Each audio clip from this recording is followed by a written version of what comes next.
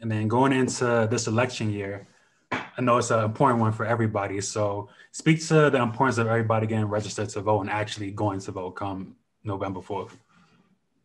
I, I, I mean, we all know how, how important it is. We, we all know how imperative it is for us to get out there and vote and to, you know, to get people to get out there and, and actually vote because it's, it's more serious now than ever, right? And, you know, people always talk about, why should I vote? My vote don't count, or I, I don't want to vote. I don't like none of the candidates. But you you you can't like what we're dealing with, right? You can't like what we're dealing with as a as a society, as a country, as a community. So why not go out there and vote? It, it, it's a lot of things that need change. some things not going to change overnight. Some people not going to change overnight. Mm-hmm. But we have to we have to flood the polls, especially this year in these next couple weeks. We have to flood the polls. We got to get people out there. It's a lot of laws and, and, and, and, and things that's going on that's been written for years and years that we need to be changed, that we got to try to bring new, you know, kind of bring new laws into it and, and just new things that we need as, as, a, as a community, as a country. So we all know how important it is to vote. Everybody get out there and vote. Um, deliver that message, you know, talk to people, make them understand, educate them, give them the information that, that, that they need. But we have to get out there and flood the, flood the polls this year. Absolutely. And how have the conversations been between like your friends and family? Because for me, I feel like now people are more invested in who they're going to vote for and you know doing their research from even the presidential level down to the local level. So how have those conversations been amongst like your friends and peers? We never was educated on voting. Mm-hmm. Like we never knew, you know, who we had to vote for or why we was voting for this for this person. It was just we knew it was cool to vote. You know what I'm saying? And, and honestly, in 08 when we was when we was allowed to vote, you know, that was kind of the first time that I, I think I voted for for Obama. Yeah. And I didn't really know what was going on. I didn't know, you know, what, what was happening in the politics and in the presidential election. But I knew we needed change and I knew that Obama needed to be in there. But now we got kids, right? We we, we got families and, and our kids, friends who needs to be educated. They talk about it. Those conversations are very uncomfortable, but we, we need to have those conversations. It's insightful.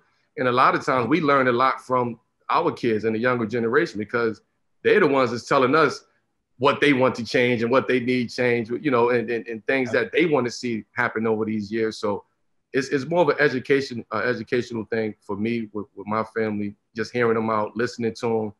But at the end of the day, they understand it. Kids too, they, they understand what, what's going on today.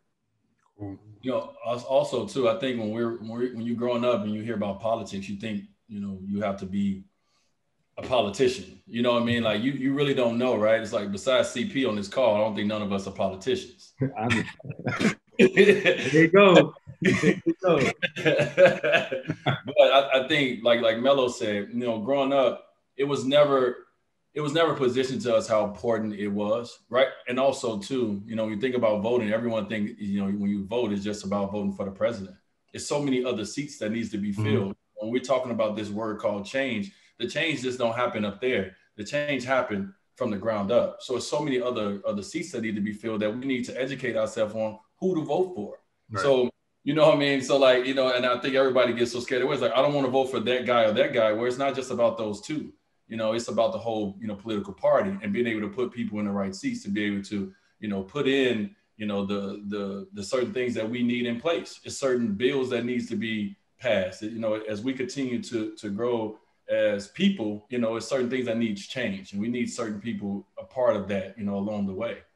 I sure. think I think the, I think the key word that both of them said when they just talked was educate, right? Like we, it's so much we don't know, right? And that's why I keep talking about the bubble and when we lost uh, uh, John Lewis, right?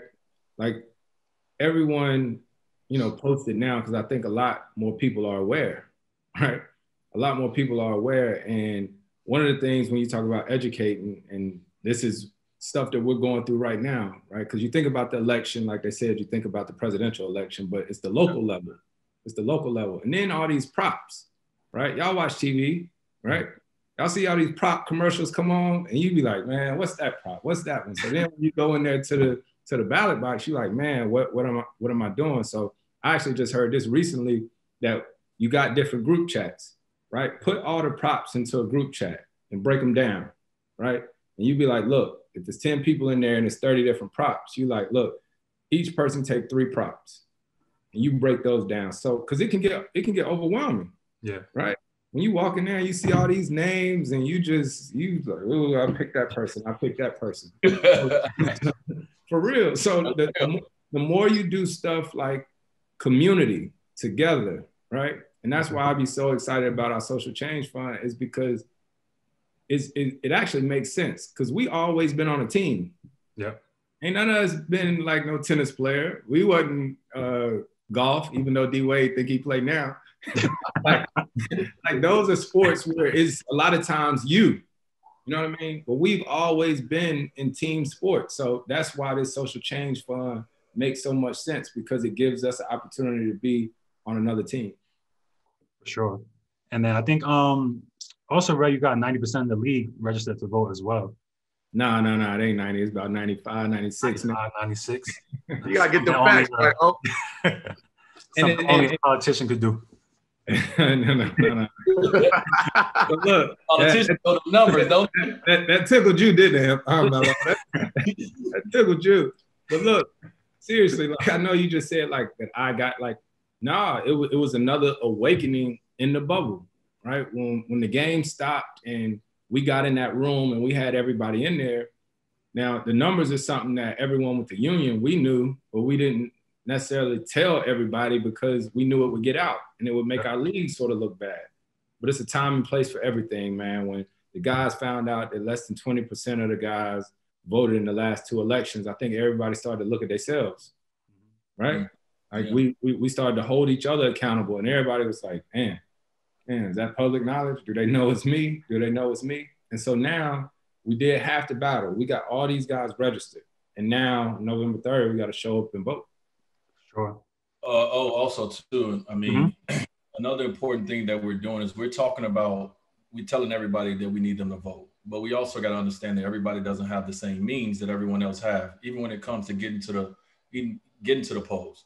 Yeah, so be able to be in a position that we all in to be able to partner with, which we have, we partner with Lyft to mm-hmm. offer these complimentary rides to get people to the polls on election day. You know, what I mean, it's going beyond just saying, "Hey, let's vote." It's figuring out ways, and it's, it is partner with other brands and other people who have the ability to make it easier for people to get to the to the polls. So that's another thing that you know in the social change fund um, that we're trying to create. We're trying to create brands to say, "Hey, you guys want to do some cool things? Well, how about you guys, you know, help us make it easier for people to vote, right? And and do a lot of things. So that's something important as well. Yeah. And how important is it for other brands to just get involved in general as far as like, you know, Finish Line, for example, they're gonna bus employees over to make sure they're getting, you know, putting their vote in. So how important is it for like other companies to do the same? But I mean, you got to think about it as as as a community, right? We we mm-hmm. we going in here as a community, and we trying to change one community at a at, at a time. So I think these big companies, these big brands, they have to do it. They have to get on board. It's a must that they get on board because if they don't, then it feels like they not they not supporting the agenda, right? And and the agenda is bigger than, you know, just black and white. Like it's a lot of things that that needs change, and these big companies and these big brands can actually lead that change. They out there, they selling this product, they have this, all of this information and and and, and in numbers and, and they know their fan base and they know who they, you know, they demographic, they we need them to reach out to their their, their fan base and those those dem- demographics that they have and really get together and make a play and make a plan and, and execute that plan. They can't just keep saying, we're gonna do it, we're gonna do it. Oh, here's you know, here's this, here's that, or we, you know, we we obligating this amount of money to this cause, but sometimes you never see that money, right? Those causes never see that money. So what we're doing is we we building our community, and that's what we want to do. And we want to hold people accountable, right? We want people to come on board with us. If you say you're gonna do it, you're gonna do it, and we're gonna hold we're gonna hold you accountable for that. And and with what Melo said too, so many more consumers now are aware of how they spending their dollar, right? Mm-hmm. So that's that's a like he's saying, you you better do it because people people paying attention. Yeah, people paying attention as you, as you're starting to see that even black businesses and small businesses are starting to get supported more, right? So if you're if you're not doing your part, people are taking look at taking a look at your board, right, to see if it's diverse, mm-hmm. right? Because they see who you're selling to and all this different type of stuff. So everyone's very hyper aware of everything that's happening, and um, it's it's time. Definitely. I know D he's spoken a little bit, so I wanted you to elaborate more on that partnership between Lyft and HBCU Heroes. Yeah, CP, you you you you elaborate more on HBC, man. That's your that's your thing. Um, I, I think it's one of those things where I remember when we saw that partnership, man. I got so excited. I got so excited because uh, one thing about uh, some of the work that we all try to do is we don't try to reinvent the wheel, right? There's so many different people who have already been on the ground doing a lot of this work and actually have the resources, right? I think it might have been Melo or D said it earlier in the talk when they said, look, we know what we're good at, right? And we all just try to pick each other up on these different, uh, in different ways. And so with Lyft and HBCU Heroes, what it does is it gives kids that's at HBCUs an opportunity to get to the polls. Because that's a real thing too. I grew up um, right outside of Winston-Salem, like in Lewisville, and the poll that we went to was only like five minutes away from my house, right? So that's all I knew of. I just felt like, okay, most of the polls are close to people's houses. you know what I mean? like that's my mom and dad would be like, we going to vote or something like that. And they go up the street mm-hmm. to their poll. And it wasn't until I got older and I realized that's not normal. And uh, that partnership is huge. But even some of these big businesses that are like not forcing people to come to work. Yeah. Because that's another thing with, with voter suppression. Some people may want to vote, and on the day that they want to vote, they boss like, not today. Mm-hmm. You don't come to work, you fired. Like there's all these different things that happen, you know, when when it's time to vote that sometimes because we don't experience it, we're not aware of it. Right. So that that that partnership with Lyft and HBCU Heroes for these HBCU students to get to the polls, uh, we're just trying to continue to make make a way.